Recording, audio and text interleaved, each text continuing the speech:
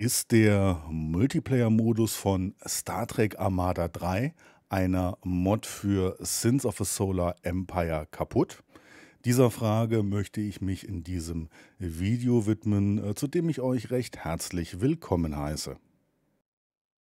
Wie man diese besagte Mod grundsätzlich installiert, ähm, darauf bin ich in einem anderen Video eingegangen, in dem ich genau erkläre, wie man Star Trek Armada 3 in der finalen Version für Sins of a Solar Empire Rebellion installiert.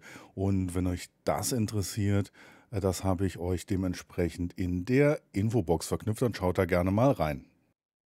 Ja, wie komme ich darauf, ähm, dass der Multiplayer hier kaputt sein äh, könnte? Es ist so, dass ich ähm, nach einer kleinen Let's äh, Play-Serie einen Livestream durchgeführt habe und mit mehreren Spielern plus KIs eine Multiplayer-Runde gespielt habe und es dort immer wieder zu Problemen und Instabilitäten gekommen ist, die dazu geführt haben, dass immer wieder einzelne Spieler rausgeflogen sind. Wenn ihr euch das äh, teilweise Trauerspiel, obwohl es sehr viel Spaß gemacht hat, muss ich sagen, einmal anschauen wollt, den äh, Stream habe ich hier auch in den Infokarten verknüpft.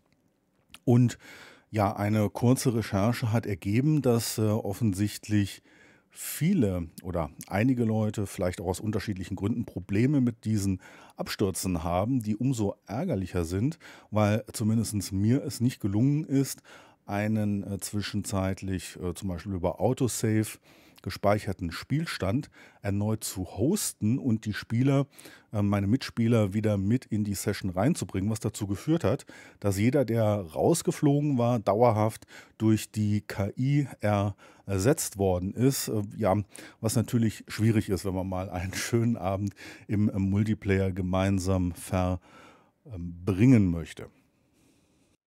Eine mögliche Lösung des Problems äh, kann darstellen, dass man, ähm, ja, also eine grundsätzliche Möglichkeit, das Problem zu lösen, wäre eine ältere Version von der äh, Star Trek Armada 3 Mod zu verwenden.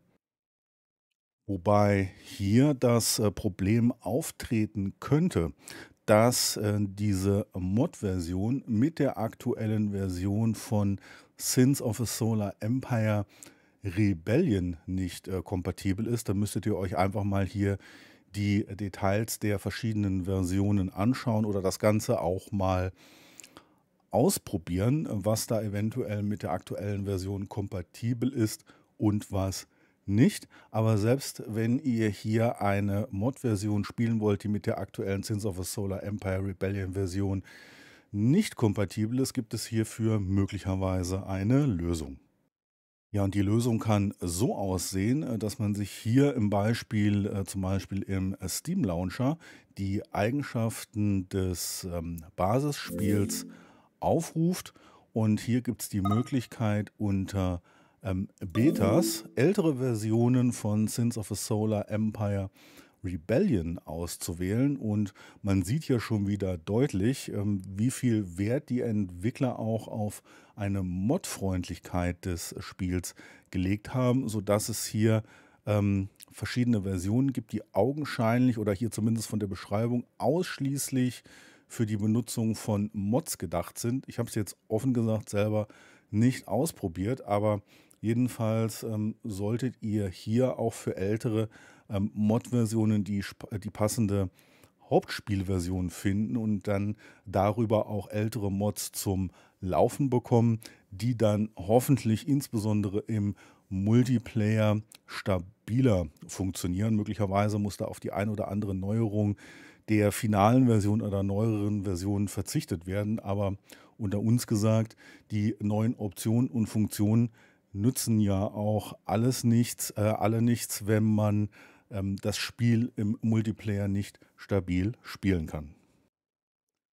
Ja, lasst mich doch gerne in den äh, Kommentaren auch mal eure Erfahrungen wissen. Ähm, zum einen mal zu äh, ähm, Star Trek Armada 3 Mod für Sins of the Solar Empire Rebellion Singleplayer oder vielleicht auch eure Erfahrungen und oder auch Lösungsmöglichkeiten, die ihr selber gefunden habt, um das Ganze im Multiplayer stabil zu bekommen. Da können wir uns gerne auch ein bisschen austauschen Und ähm, vielleicht ist das ja dann auch für andere Spieler von Interesse. Da würde ich mich sehr drüber freuen und sage an der Stelle bereits herzlichen Dank.